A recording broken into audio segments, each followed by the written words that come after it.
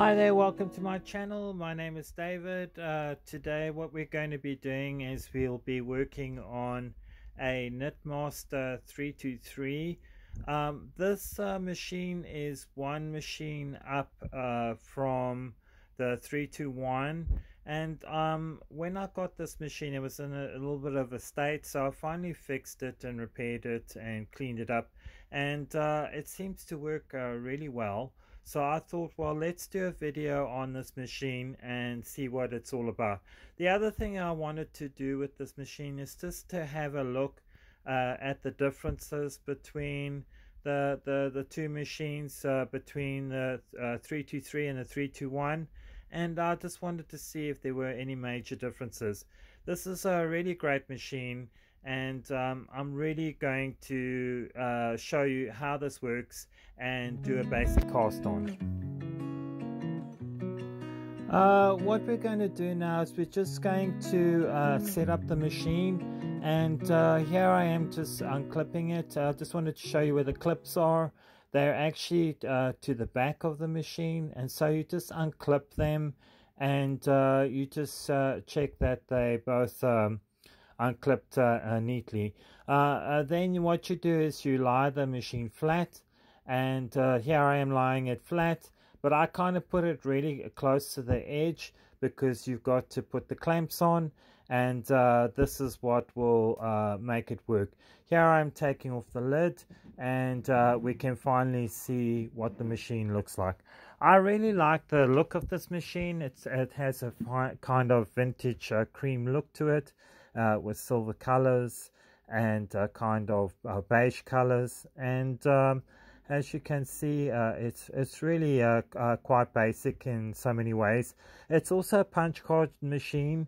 And this punch card machine I haven't tried yet so I will be trying that soon. Um, here I am putting in the clamps.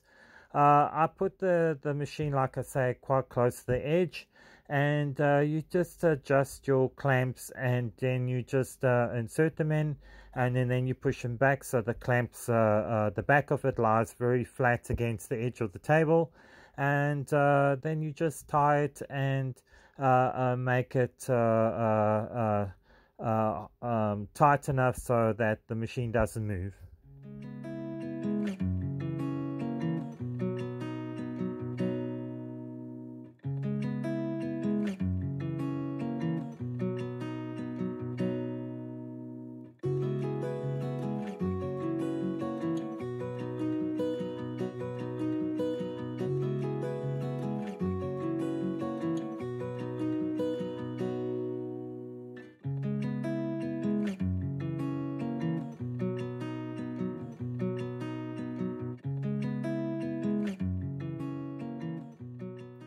Uh, what you do next here is you just take off the the carriage uh, clamp holder uh, off. Uh, this is just to uh, make sure that the carriage doesn't move when you pack it.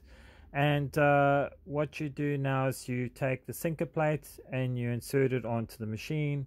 And you basically just make sure that it fits. And it's got two little um, kind of gray gauges on either side where you can see where the clamp must be uh, where the sinker plate must be, I should say.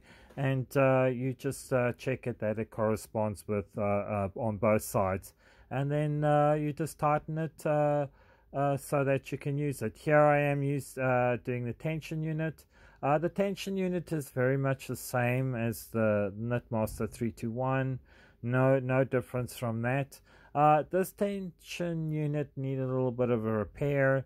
Uh, there was something wrong with the spring on the inside, so I, I fixed that. Uh, here is the, the tension arm, uh, and there's the thread guide. Um, it's very much the same as uh, the 321. In fact, you could probably use the, the tension unit from the 321 and the 323 in the same way. Um, here I am just showing you how the the, the tension uh, unit slips onto the the rod.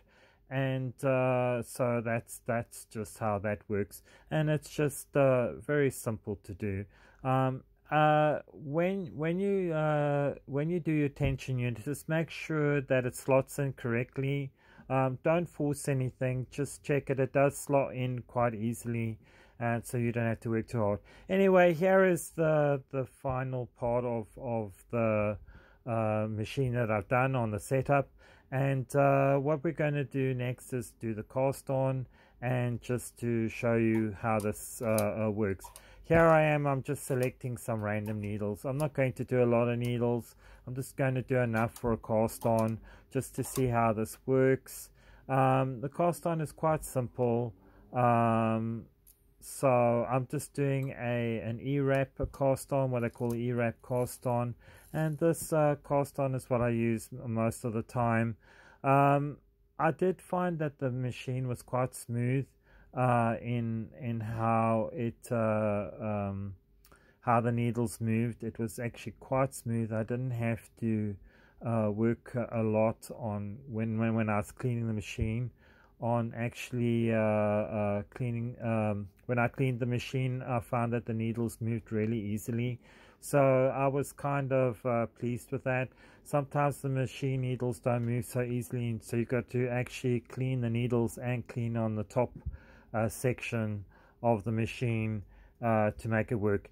Here I am, I'm just uh, inserting uh, the yarn into the sinker plate and so that we can um, actually start the cast on. Um, I'm going to use tension 7 dial on here because I found that that seems to be a much better uh, knit stitch, uh, uh, tension stitch I should say, uh, with this uh, machine. And uh, here you just put it on plain knitting which is 0 and you know then you do your first cast on. Here I am doing the first cast on it was a little bit uh, uh, stiff initially because I don't think this machine had been used a long time. Uh, so here I am, I'm doing the first cast on uh, for this machine. So it just caught very slightly on the edge of one of the pegs, so I had to undo that uh, for the cast on. Uh, but I think with a little bit of practice, machine will be much easier to work with um, as as you work along with it. Um, this uh, um, uh, cast on, uh, the E-wrap cast on, um, was just uh, a little bit difficult in the beginning. Uh, like I say, it just uh, took a while. I, don't think it had been used for a long time.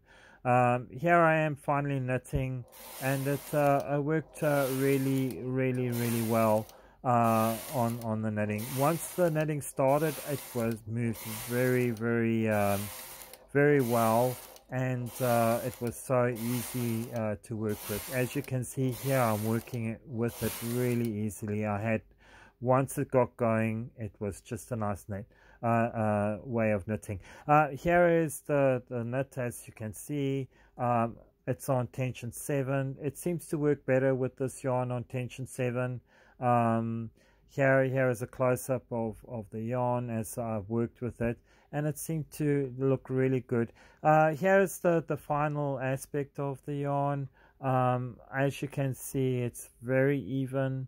Uh, it's very neat and tidy. I didn't see any drop stitches and I didn't see any issues with the yarn. So as you can see, this came out really well.